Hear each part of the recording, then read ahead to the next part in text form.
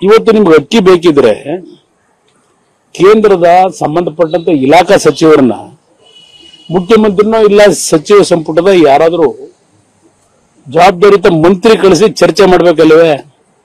ಯಾವನ F C ಐನ ಅಧಿಕಾರಿಗೆ ಲೆಟರ್ ಬರೋದು. ಅಕ್ಕಿ ಕೊಡಿ ಅಂತ ಕೇಳಿದ್ರೆ ಅವನಿಗೇನ್ ಪವರ್ ಇದೆ? ಇವ್ರ ಜವಾಬ್ದಾರಿ ಏನಾಗಿದ್ರೆ, ಇವತ್ತು ಕೇಂದ್ರ ಸರ್ಕಾರಕ್ಕೆ ಇಡೀ ದೇಶದಲ್ಲಿ ಅವರವರದೇ ಆದಂತಹ ಒಂದು ಕಮಿಟ್ಮೆಂಟ್ಗಳಿರ್ತವೆ ಇವ್ರಿಗೆ ಬೇಕಾದಂತ ರೀತಿಯಲ್ಲಿ ಅಕ್ಕಿ ಕೊಡಿ ಅಂದ್ರೆ ಅವರೇ ಕೊಡ್ತಾರೆ? ಇವತ್ತು ನೀವು ಜನತೆಗೆ ಮಾತು ಕೊಟ್ಟಿರೋದು, ಹತ್ತು ಕೆಜಿ ಅಕ್ಕಿ ಕೊಡ್ತೀವಿ ಅಂತ. ಅದಕ್ಕೆ ಆಲ್ಟರ್ನೇಟ್ ಅರೇಂಜ್ಮೆಂಟ್ ಎಷ್ಟು ಖರ್ಚಾದ್ರೂ ಕೊಡ್ತಕ್ಕಂಥ ನೀವು ರೆಡಿ ಮಾಡ್ಕೋಬೇಕಲ್ಲ. ಈ ನಾಟಕ ಎಷ್ಟು ದಿವಸ ಆಡ್ತೀರಿ? ಯಾರಿಗೆ ಇವತ್ತು ಈ ನಿಮ್ ಬದುಕನ್ನು ಕಟ್ಕೊಳ್ಳಿಕ್ಕೆ ನಿಮ್ ತೀರ್ಮಾನ ಕೊಡಬೇಕು, ಅದು ಕೊಡ್ತಕ್ಕಂಥದ್ದು ಮಾಡದೆ ಹೋದ್ರೆ ಇನ್ನು ಕೆಟ್ಟ ದಿನಗಳನ್ನ ನೀವು ಕಾಣಬೇಕಾಗಿದೆ. ಮಕ್ಕಳ ಬದುಕಿನ ಜೊತೆ ಎರಡು ರಾಷ್ಟ್ರೀಯ ಪಕ್ಷಗಳದ್ದು ಚೆಲ್ಲಾಟ ಇದೆ. ನನ್ನ ಅಭಿಪ್ರಾಯ. ಅವ್ರ ತಂದೆ ತಾಯಂದಿರು, ಆ ಮಕ್ಕಳು, ಏನಪ್ಪ ನಾಳೆ ಬೆಳಗ್ಗೆ ಯಾವ ಸಬ್ಜೆಕ್ಟ್ ನೋಡೋದು?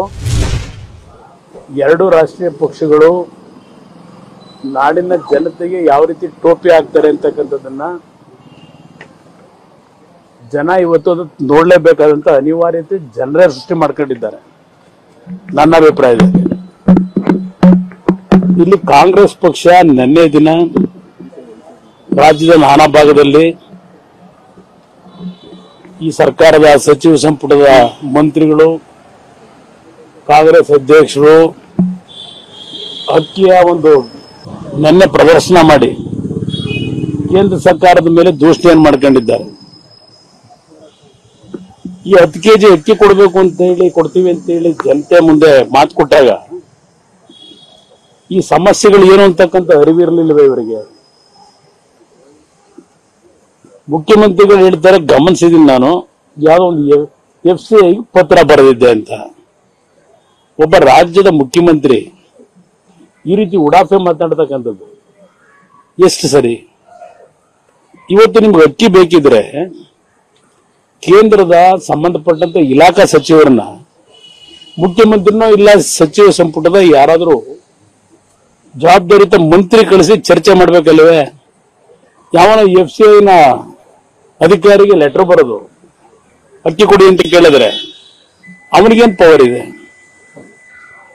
ಅಲ್ಲಿ ಕೆಲವು ಗೈಡ್ ಲೈನ್ಸ್ ಇಟ್ಕೊಂಡಿದ್ದಾರೆ. ಈಗ ಕೇಂದ್ರ ಸರ್ಕಾರವೇ ಐದು ಕೆಜಿ ಅಕ್ಕಿ ಕೊಡ್ತಾ ಇದ್ದಾರೆ. ಈಗಾಗಲೇ ಆ ಐದು ಕೆಜಿ ಅಕ್ಕಿನ ಇವತ್ತು ನಾಡಿನ ಜನತೆ ಕೊಡ್ತಾ ಇರೋದು ಇಲ್ಲಿ. ಈ ಕಾಂಗ್ರೆಸ್ ನಾಯಕರು ಪದೇ ಪದೇ ನೋಡ್ತೀನಿ ಕಳೆದ ಒಂದು ವಾರದಿಂದ ಇವ್ರ ಹೇಳಿಕೆಗಳನ್ನು. ಕೇಂದ್ರ ಸರ್ಕಾರ ಅಕ್ಕಿ ಕೊಡ್ಲಿಲ್ಲ, ಕೊಡ್ತಾ ಇಲ್ಲ. ನಮ್ಮ ರಾಜ್ಯವನ್ನ ದ್ವೇಷಿಸ್ತಾ ಇದ್ದಾರೆ ಕನ್ನಡಿಗರನ್ನ. ಇಂಥ ಹೇಳಿಕೆಯನ್ನ ಕೊಡೋದ್ರ ಮುಖಾಂತರ ಇವ್ರ ಜವಾಬ್ದಾರಿ ಏನು ಅಂತಕ್ಕಂಥ ಹೇಳ್ತಾ ಇಲ್ವಲ್ಲ ಇವ್ರ ಜವಾಬ್ದಾರಿ ಏನಾಗಿದ್ರೆ, ಇವತ್ತು ಕೇಂದ್ರ ಸರ್ಕಾರಕ್ಕೆ ಇಡೀ ದೇಶದಲ್ಲಿ ಅವರವರೇ ಆದಂತಹ ಒಂದು ಕಮಿಟ್ಮೆಂಟ್ಗಳಿರ್ತವೆ ಇವ್ರಿಗೆ ಬೇಕಾದಂತ ರೀತಿಯಲ್ಲಿ ಅಕ್ಕಿ ಕೊಡಿ ಅಂದ್ರೆ ಅವರೇ ಕೊಡ್ತಾರೆ? ಈಗ ನಾನು ರಾಷ್ಟ್ರ ರಾಜ್ಯದಲ್ಲಿ ಸಮ್ಮಿಶ್ರ ಸರ್ಕಾರ ರೈತರು ಸಾಲ ಮನ್ನಾ ಮಾಡತಕ್ಕಂತ ಸಂದರ್ಭದಲ್ಲಿ ನ್ಯಾಷನಲೈಸ್ ಬ್ಯಾಂಕ್ನ ಸಾಲ ಮನ್ನಾ ಮಾಡಿದ್ರೆ ರಾಷ್ಟ್ರೀಕೃತ ಬ್ಯಾಂಕಿನ ಸಾಲ ಮನ್ನಾ ಮಾಡಿದಾಗ ನಾನು ಹೋಗಿ ಪ್ರಧಾನ ಮಂತ್ರಿಗಳನ್ನ ರಾಷ್ಟ್ರೀಕೃತ ಬ್ಯಾಂಕಿನ ಸಾಲ ಮನ್ನಾ ಮಾಡ್ಲಿಕ್ಕೆ ದುಡ್ಡು ಕೊಡಿ ಅಂತ ಕೇಳದ್ನ.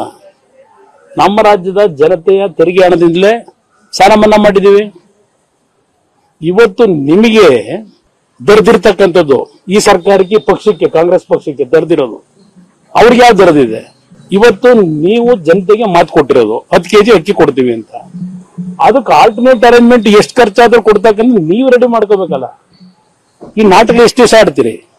ಇವತ್ತು ವಿದ್ಯುತ್ ಶಕ್ತಿ, ನಿಮ್ ವೈಸ್ ಚಾನ್ಸಲರ್ ಬಾಯ್ ಬಿಡ್ಕತಾವನೆ ನಿಮ್ಮ ವಿ ಟಿ ವಿ ನಲ್ಲಿ ಮೂವತ್ತೈದು ಲಕ್ಷ ಬಿಲ್ ಕಟ್ಟಬೇಕು ಅಂತ ಹೇಳಿ. ಯಾರಿಗೆಲ್ಲ ಹೊಣೆ ಹೊರವರು? ಇವತ್ತು ಹಲವಾರು ಕುಟುಂಬಗಳಿಗೆ ಇನ್ನು ಬಿಲ್ಗಳೇ ಬಂದಿಲ್ಲವಂತೆ. ಪ್ರತಿ ಟೈಮ್ ಪ್ರತಿ ತಿಂಗಳು ಆರನೇ ತಾರೀಕು ಬರ್ತಾ ಇತ್ತು, ಈಗ ಹದಿನೈದನೇ ತಾರೀಕಾದ್ರೂ ಬರಲಿಲ್ಲ. ಇದನ್ನ ಕೆಲವರು ಆತಂಕದಲ್ಲಿ ಹೇಳ್ತಾ ಇದ್ದಾರೆ ಜನ. ಅಲ್ಲಿ ಇದೊಂದು ಆಡಳಿತ ಇದೆ ಅಂತ ಕರಿತೀರಾ? ಕನ್ನಡ ನಾಡಿನ ಜನತೆ ಹೇಳ್ತೀನಿ. ಸ್ವಲ್ಪ ನೀವುಗಳು ತೀರ್ಮಾನ ತಗೋಬೇಕಾದ್ರೆ ನಿಮ್ ಬದುಕೇನು ಅನ್ನೋದಕ್ಕೆ ಯಾರಿಗೆ ಇವತ್ತು ಈ ನಿಮ್ ಬದುಕನ್ನು ಕಟ್ಕೊಳ್ಳಿಕ್ಕೆ ನಿಮ್ ತೀರ್ಮಾನ ಕೊಡಬೇಕು, ಅದು ಕೊಡ್ತಕ್ಕಂಥದ್ದು ಮಾಡದೆ ಹೋದ್ರೆ ಇನ್ನು ಕೆಟ್ಟ ದಿನಗಳನ್ನ ನೀವು ಕಾಣಬೇಕಾಗಿದೆ. ನಾನು ಹತ್ತು ಕೆಜಿ ಕೊಡಿ ಅಂತ ನಾನೇನು ಡಿಮ್ಯಾಂಡ್ ಮಾಡಲ್ಲ. ನೀವು ಟೋಟಲ್ ಹತ್ತು ಕೆಜಿ ಅಂತಲೇ ಹೇಳಿರ್ಬೋದು ನೀವು, ಆಯ್ತಪ್ಪ. ಆ ಇನ್ನ ಐದು ಕೆಜಿ ಅಕ್ಕಿ ಕೊಡ್ತಕ್ಕಂಥ ಜವಾಬ್ದಾರಿ ನಿಮ್ದು. ಕೇಂದ್ರ ಸರ್ಕಾರದ್ದಲ್ಲ ಇಲ್ಲಿ. ನಿಮ್ ಜವಾಬ್ದಾರಿ ಅದು.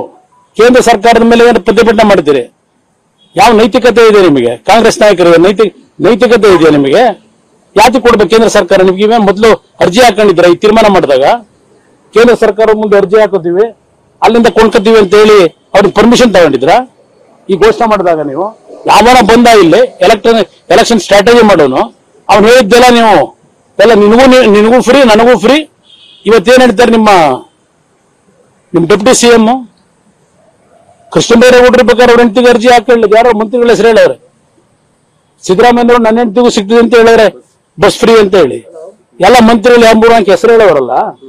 ಅವ್ರು ಬೇಕಾದ್ರೆ ಹಾಕೊಳ್ಳಿದ್ರೆ ಹಾಕೊಳ್ಳಿ, ನನ್ನ ಹೆಂಡತಿ, ನನ್ನ ಹೆಂಡತಿನೂ ಹಾಕೊಳ್ಳಿದ್ರೆ ಹಾಕೊಳ್ಳಿ ಅಂತ ಹೇಳವ್ರೆ ಇದೇನು ಹುಡುಗಾಟಿಕೆನ ಇದು ಈ ರಾಜ್ಯ? ಈ ರೀತಿ ಮಾಡ್ಕೊಂಡು ಹೊರಟಿರೋದು.